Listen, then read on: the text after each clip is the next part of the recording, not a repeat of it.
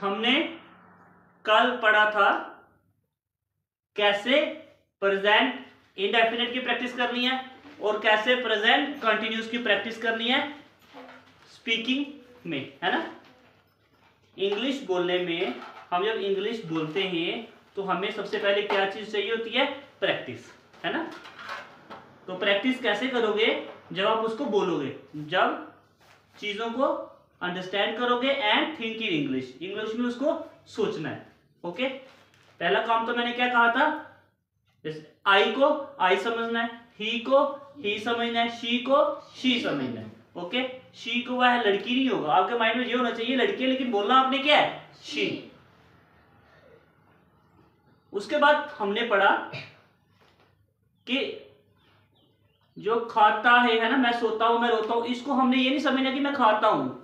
I eat I sleep I गो जो नहीं करते हो, उसको इंग्लिश में ही कर आई डिड नॉट डोंट है ना?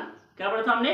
I don't I don't eat I don't sleep I don't play I don't go I don't run third चीज़ हमने ये पढ़ी थी, जो भी आप काम कर रहे हो, उसको किस तरह से बोलना है? आई एम लगाना है आगे वर्ब की फ़र्स्ट फॉर्म के साथ आई एन जी यूज़ कर देना।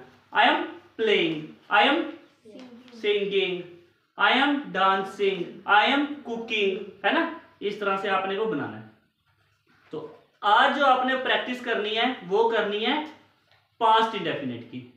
ये तीन सेंटेंस जो हैं, ये काफ़ी यूज़ होते हैं स्पीकिंग पर्पस के लिए। ओके सो फ़र्स्ट टेंस कौन सा था? स्पीकिंग के लिए जो पहला था प्रेजेंट इंडेफिनेट ठीक है? सेकंड कौन सा था? प्रेजेंट कंटिन्यूस थर्ड कौन सा था? पास्ट इंडेफिनेट जो जिसकी प्रैक्टिस आपने आज करनी है, ठीक है? तो आपने माइंड में ये सोचना है, मैं आई, मैं आया, मैं गया। मैं खाना खाया मैं सोया मैं हंसा मैं चला मैं दौड़ा। ओके इसको आपने अब इंग्लिश में बोलना है। How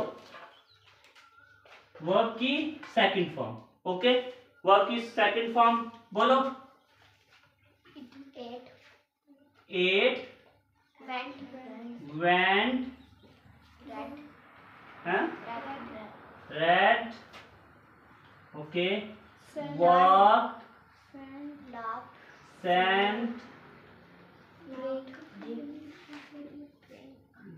drunk. Drink drink drunk drink ठीक है?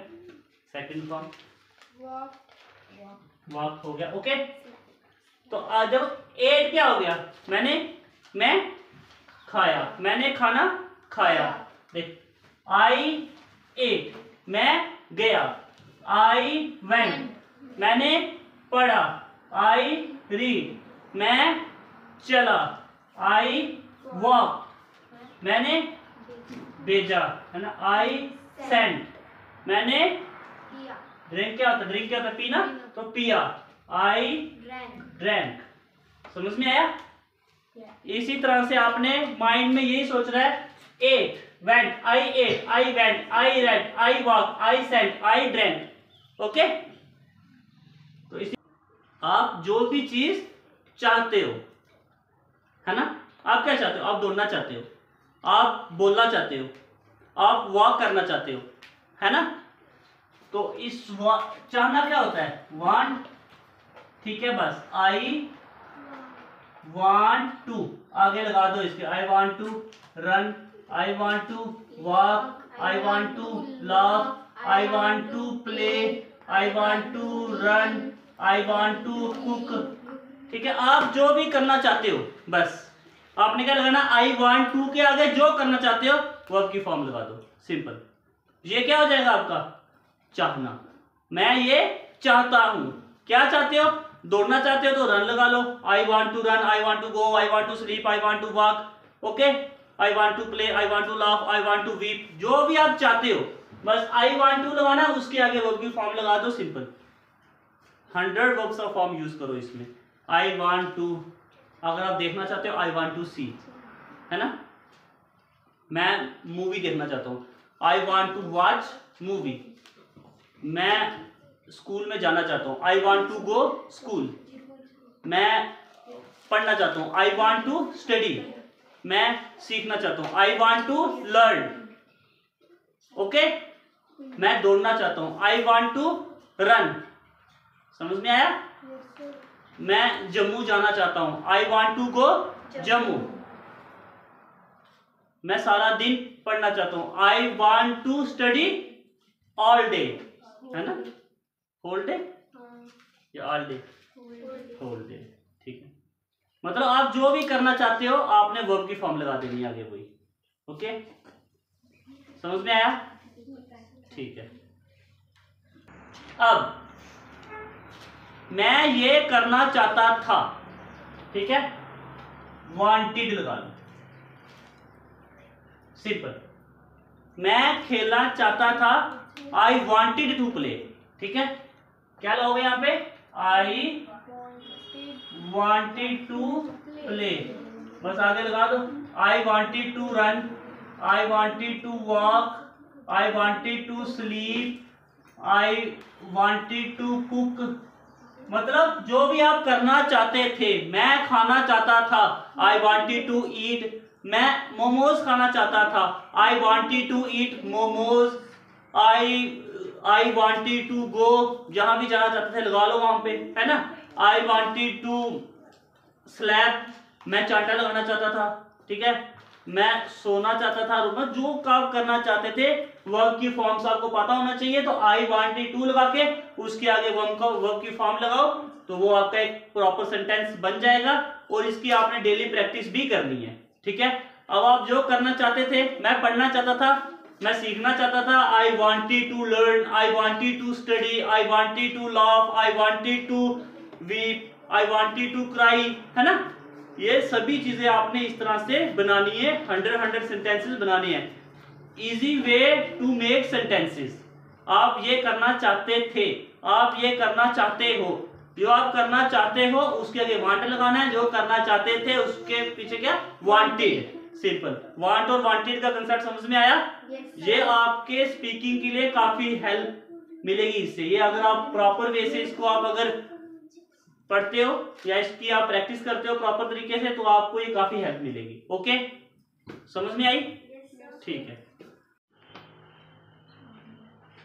चलिए। तो अब अगर आपको किसी चीज़ की ज़रूरत है ठीक है? हमें ज़रूरत होती है ना? जैसे मुझे पेन की ज़रूरत है ठीक है? क्या लगाना आपने? Need I need I need to run. I need to sleep. I need to walk. I need to cook. मतलब जिस, आपको जिसकी ज़रूरत है, आपको भागने की ज़रूरत है I need to run I need to walk I need to sleep I need to walk I need to cook ठीक है इसी तरह से आप वर्ब की फॉर्म लीजिए और इसके आगे लगा लीजिए तो जो भी ज़रूरत है आपकी वो करिए उसको स्पीकिंग में भी लाइए, ठीक है? बोलिए इसकी प्रैक्टिस कीजिए। मैं करता हूँ, मैं मैं करना चाहता हूँ, मैं करना चाहता था, मुझे इसकी ज़रूरत है, ठीक है? आई नीड आई नीड देखो आई नीड यहाँ पे ए पेन ए का मतलब क्या हो गया? ए आई नीड अ पेन है ना? अब इसमें आर्टिकल का भी यूज़ हो गया। I need a pen I need a notebook है ना? समझ में आ रहा है? इसी तरह से आपने इसकी प्रैक्टिस करनी है। वर्ब की फॉर्म लेकर के बनाइए सेंटेंस काफ़ी सारे सेंटेंस बनाओ इसके आप। वांट वाले बनाओ वांटेड वाले बनाओ और नीड वाले बनाओ ठीक है? मुझे रनिंग करने की मुझे दौड़ने की ज़रूरत थी। मुझे चलने की ज़रूरत थी। थी मीन्स नीडिड ओके नीडिड मुझे खाना बनाने की ज़रूरत थी। आई नीडेड टू कुक ठीक है, लगा दो आगे अब।